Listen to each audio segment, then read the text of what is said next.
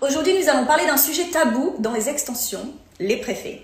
Alors, est-ce que si on utilise des préfets, on est moins une artiste? Est-ce que les préfets, c'est le fait de tricher? Est-ce que les éventails faits main ont un avenir?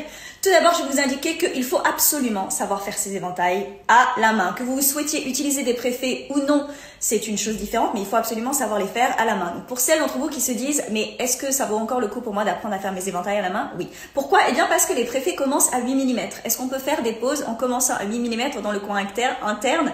Non. Donc, il faut absolument savoir faire des éventails de plus petite taille et notamment pour votre évolution, si vous voulez un jour former, vous pouvez pas être formatrice sans savoir vous-même comment faire des éventails à la main. Venons-en maintenant, est-ce que nous sommes moins une artiste si nous utilisons des préfets plutôt que de les faire à la main?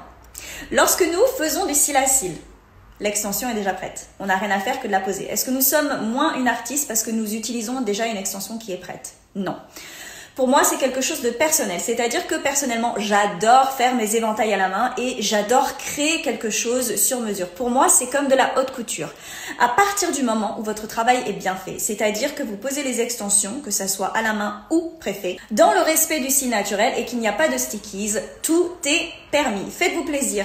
Mais attention, préfet, ce n'est pas un court-circuit pour faire n'importe quoi et surtout pour ne pas avoir de formation volume russe. Donc, si vous voulez utiliser des préfets, libre à vous, ça reste une préférence personnelle, mais il faut faire ça correctement et surtout, il faut être très clair avec la cliente sur ce que vous faites.